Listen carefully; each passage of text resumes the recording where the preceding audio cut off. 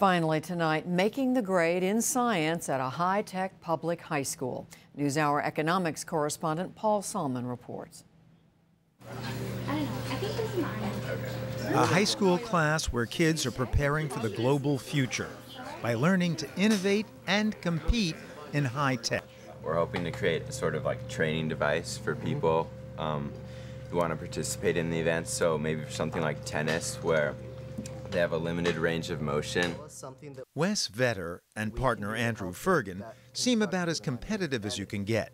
Inventing new technology, a device to teach special needs kids to swing a tennis racket, for this year's Special Olympics. We're taking these three-point perspective drawings and we're drawing them out just to get an idea of that and then we're going to transfer them onto this program here called CAD. So we're just practicing that right now. computer-assisted yeah. design. Yeah. For all the studies showing that American students are falling behind the rest of the world in science, it's not happening here. At High Tech High in San Diego, one of the most competitive charter schools in the country, everyone goes to college, yet anyone can attend. Admission is strictly by lottery.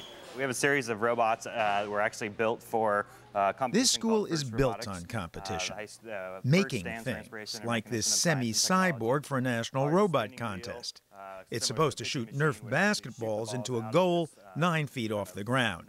Shaped thing and would shoot them up into the air. Student science projects are everywhere.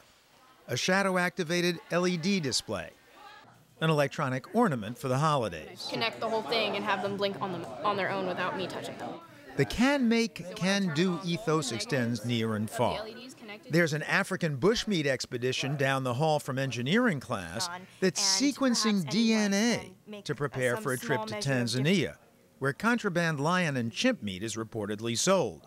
That's also how HIV may have actually transferred over from animals to humans, is because someone just ate a monkey.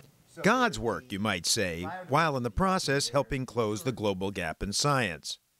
The U.S. now trails almost every country of comparable wealth in high school science tests Canada, Japan, Australia, Germany. One reason High Tech High was created to turn the scores around. San Diego businessman Irwin Jacobs says U.S. science deficiency was throttling the growth of his high flying San Diego computer chip company, Qualcomm. Our problem was that when we go to hire, we were just not finding enough properly trained individuals trained so they could do new kinds of technology, and that's the kind that we specialize in. Jacobs could import top talent from abroad, but that didn't exactly address the problem of our decreasing competitiveness and what might happen to Qualcomm and America if the slide persisted. Well, we, over the years, were very concerned about the fact that such a small percentage of students were really preparing themselves with math, science in the middle schools and the high schools, and then going on for graduate work in the sciences and in engineering. So business leaders in San Diego came up with an idea to pilot a charter high school open to anyone. They approached educator Larry Rosenstock. They said, why don't we grow our own? Why don't we grow our own from internally, from in our community, from in our metropolitan area? Why don't we grow our own future leaders who will be playing these types of roles as, as scientists and engineers. Of course, we used to grow our own. America was long a fount of applied science. Yankee ingenuity at the start, creating labor saving technology in a country with so much land, so little labor. And eventually, after the explosion of wealth, population, and public education, the advent of higher technology. From the automobile and airplane to the atom bomb and computer. America became the world's model for technology. America as number one. But these days, Jacob's ambition is more modest. That's what we all want. It's not a question, can we have a larger gross national product than China or some other, India, or whatever.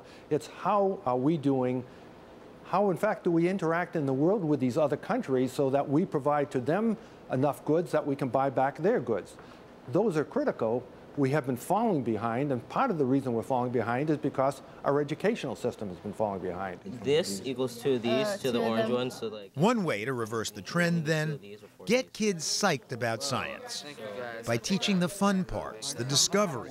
So the beauty of getting kids to become interested in math and science and engineering is to have them behave like scientists, behave like mathematicians, behave like engineers, not prepare for bubble answer tests, which is not what those professionals do. And the way that you create that type of environment, like a place like MIT or Rensselaer Polytech or Caltech or Olin now, is kids make things and do things, challenging things, and then they're exemplary, which we look at, and they present them publicly. And then the whole school as an organism sees and says, that was a really good one. That one wasn't so good. Next cycle, mine is going to look like that one. Here we have the opportunity to be a part of what we do and not just, as they were mentioning, not just read off a textbook, actually get to be a part and do the hands on part of the project and not just read about it like in other common high schools. We have this dilemma how much order do we, do we put over a society so this is a liberal arts school where you get stuff your, done your through fun and games, which it turns out inspires kids to try anything, including science. As in the annual competition of FIRST, FIRST, for inspiration and recognition of science and technology, started by entrepreneur Dean Kamen, who invented the Segway scooter. Last year, says engineering teacher Dave Bergren, uh, this robot was its whole goal was to, um, if I can not render things, was to pick up uh, tubes actually, uh, kind of like pool inner tubes, and place them on a big octagonal rack. Uh, and you basically got points by how many of your team got in a row, either horizontally or vertically.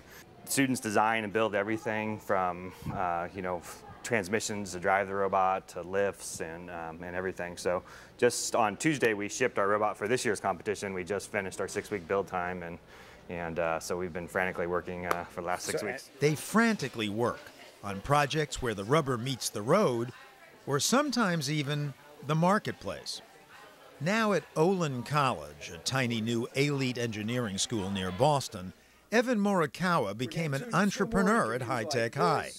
We interviewed him over the internet. Was I made a, a, a new way to input text, if you will, into PDAs and cell phones. His product, an electronic glove to improve on the all thumbs approach. Can you tap out for me as if you had the glove on? Hello, Paul, this is Evan. To type uh, an H, you just push your middle finger, and E is your pointer, and L is your thumb. Oh, I see. So combinations of the fingers give you different letters.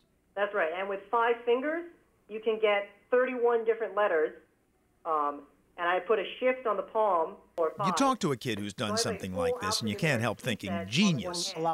But look, his teacher says, he started.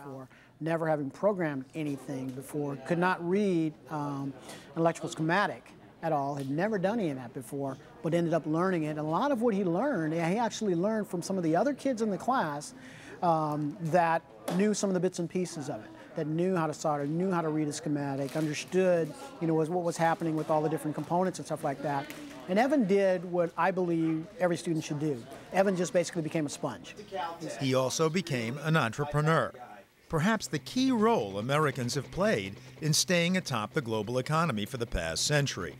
And certainly the key to Irwin Jacobs and Qualcomm's success even now. I often tell employees that they should continue to think about Qualcomm as a startup, but a startup with a very good cash flow. And most people, in fact, are entrepreneurial when they have the right level of background and the right environment in which to work.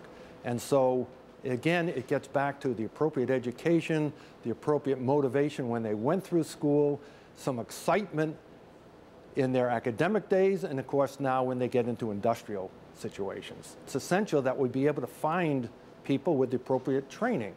That is indeed getting harder and harder to do.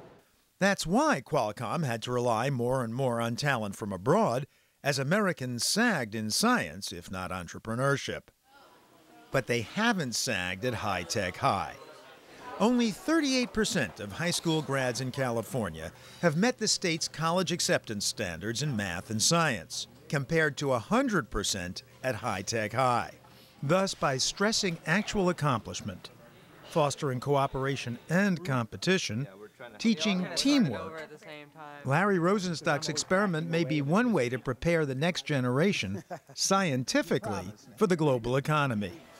But he insists it's not the only way. When I was principal of a 350 year old high school back east, uh, public high school, there's, Uh, of a community that has 100,000 people, I learned a very strong lesson. There is not one solution for a community of 100,000 people.